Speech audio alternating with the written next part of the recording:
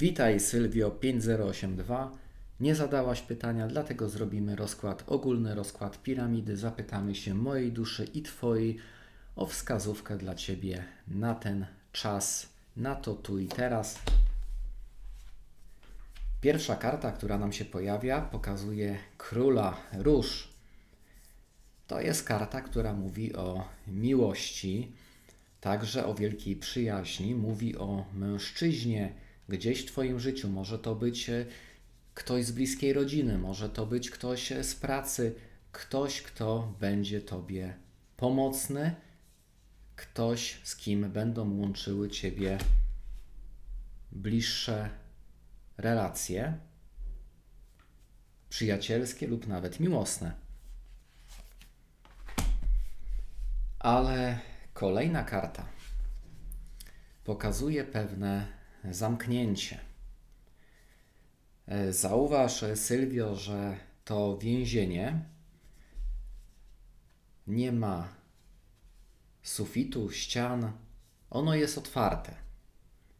Ale pomimo, że jest otwarte, że można z niego wyjść, to z jakiegoś powodu te dwie istoty w nim siedzą.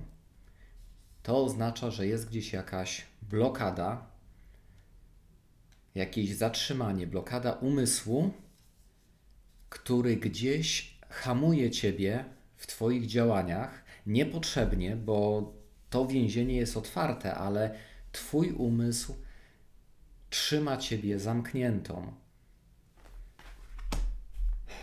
Popatrz na tego króla.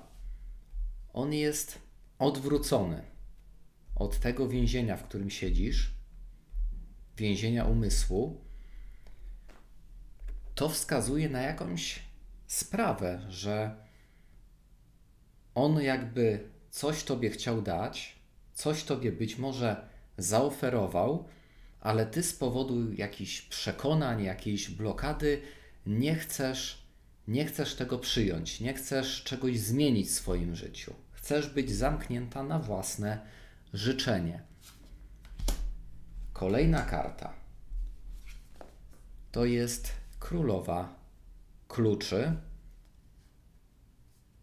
Tutaj widzimy mądrość, wolność, zdobywanie szczytów, zdobywanie szczytów w pracy, w życiu osobistym. No jest to na pewno karta sukcesu, także może wskazywać na kobietę, która zaoferuje Tobie albo pomoc, albo jakiś rozwój, na pewno wzniesie Ciebie do góry.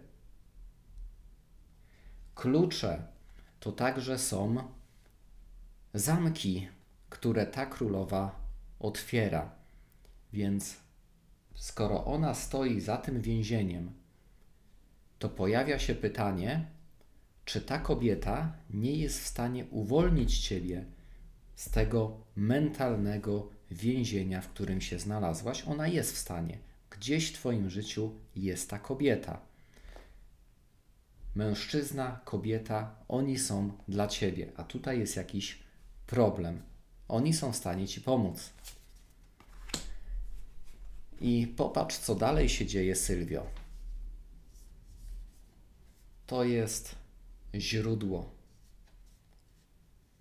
To jest jak kabalistyczne drzewo od korzenia, od pierwotnego stanu istnienia przez system gałęzi do samych owoców. Zauważ, że to drzewo jest jedno, no bo ten najwyższy poziom jest jeden. Jest tutaj woda niezbędna do życia, jest światło, jest bezpieczeństwo. Niczego tutaj nie brakuje. To jest samo źródło.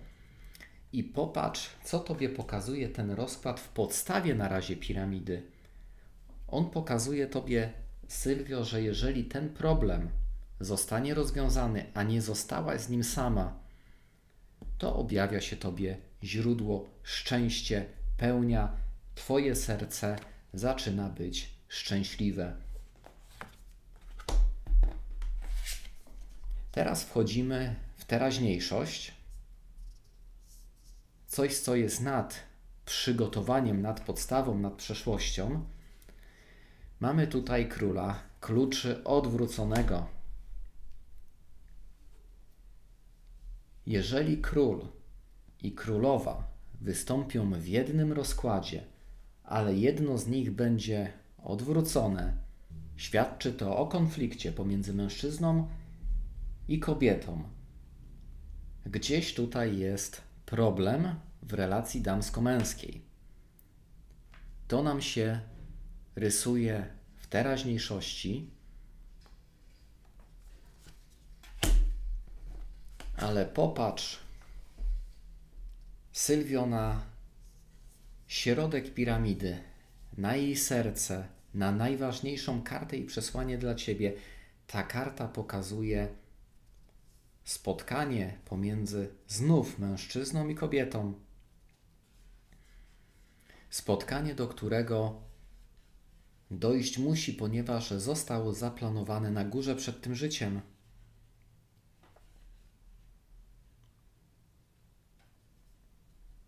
Zegar już prawie wybija północ. To oznacza, że do tego spotkania ma dojść niebawem. I to spotkanie to jest najważniejsza rzecz, która na ciebie czeka. O tym mówi tobie teraz Twoja dusza. Co ciekawe, ten mężczyzna jakby jest odwrócony, tak jakbyś albo go gdzieś odrzuciła, albo nie zauważyła, ale relacja z nim jest dla ciebie najważniejsza. Ona była planowana przed tym życiem, musi się wydarzyć. Kolejna karta pokazuje pewne zamieszanie, ponieważ to jest biblioteka Akaszy, no czyli wiedza.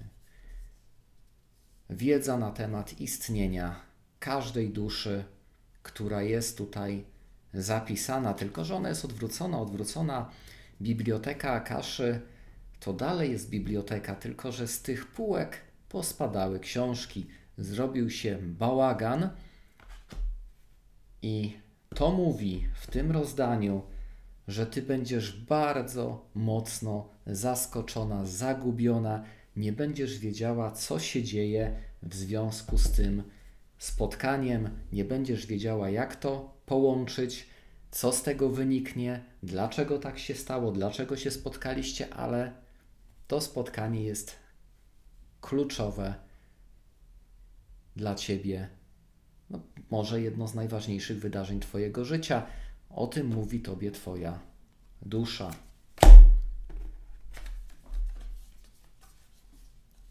Karta na szczycie mówi o uleczaniu, ale w odwróconej formie każe Tobie zwrócić uwagę na Twoje zdrowie. Warto się przebadać, albo się uleczyć. Jest to wskazówka dla ciebie, że z tym zdrowiem coś może być nie tak, warto na to zwrócić uwagę. Lepiej zapobiegać niż potem leczyć. Ale ta karta jest najważniejsza dla ciebie w tym momencie. Więc wypatruj mężczyzny. Być może już wiesz o kogo chodzi, być może on dopiero się pojawi, a być może ty go gdzieś tam odrzuciłaś, ale on i tak do ciebie wróci. Skup się, Sylwio, na tej sytuacji, bo gdzieś tutaj mentalnie siedzisz w jakiejś pułapce i ta pułapka jakby stanowi blokadę pomiędzy Tobą a Twoją duszą, a źródłem. Są tutaj osoby gotowe Tobie pomóc, zmierzyć się z tym problemem, Jeżeli sprawa zostanie załatwiona, zostaniesz uwolniona, no to wtedy źródło stoi przed tobą otworem. Dziękuję, pozdrawiam.